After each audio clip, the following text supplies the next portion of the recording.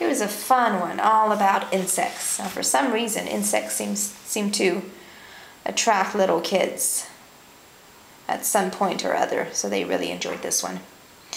We have our little facts, and they got to collect some little pictures of insects. Insects have six legs, so they got to glue six little legs made of yarn. Insects' bodies have three parts. So we cut them out, three different parts, and they had to glue it together. And it's written here.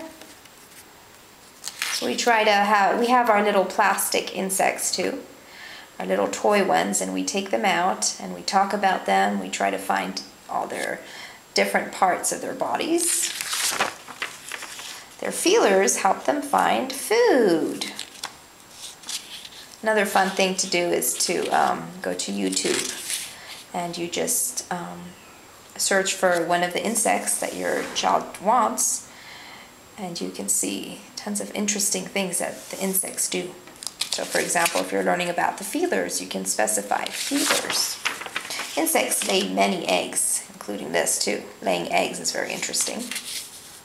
So here are little punch, hole punch pieces that they just glued. And here's a fun little insect maze. Talk about the insects and what they eat, where they live. And here was one of our arts and crafts all about insects. Now they had to put together their little body and head, their feelers, and the wings.